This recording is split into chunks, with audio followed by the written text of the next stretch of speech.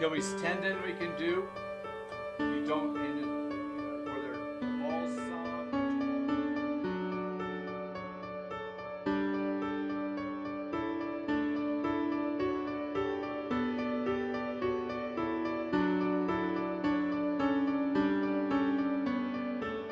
chiropractors for years and years, and I would say with little to no results. Thousands of dollars spent, wasted, doctors, neurologists, everything else, and in two visits, I would say I'm further ahead than five years doing the other scenario. Ben. so, yeah. Look forward to getting better. Um, I'm Dr. Brett Earl. Dr. Watts. My name is Dr. Baden Patterson. So my name is Dr. Terry Gibbs. Uh, my name is Dr. Todd Watts. Dr. Leonard Ward, I've been practiced 30 years. Um, seen some pretty amazing things just in one day. Patients come injected yesterday, came back today. Um, Oh wow. things honestly you don't, you don't really expect to happen.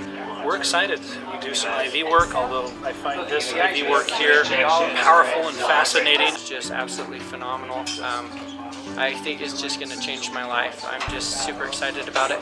Everything at the clinic um, that we did during the training was very hands-on. This is my first seminar, which was really wonderful, about injections in a holistic manner. some, some great results with patients that have come in and I'm really excited to implement this into my office coming up on Monday. The last seven years, I've been doing the uh, oxidative therapy with the ozone and the procaine injections. Uh, it's been good with this weekend as far as with the new products and the solutions. I'm excited with the regen and things. The biofeedback that I was getting from the tissues from the body was actually was less resistant, more flow, more uptake, which is very beneficial to the patient.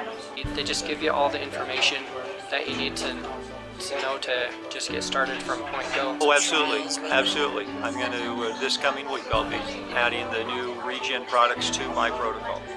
Pretty excited about going back and implementing, taking this into practice. Excited to put it into practice and um, just to run with it. Um, this was a really great weekend because a lot of things, but it opened up a whole lot of doors for how we can help people.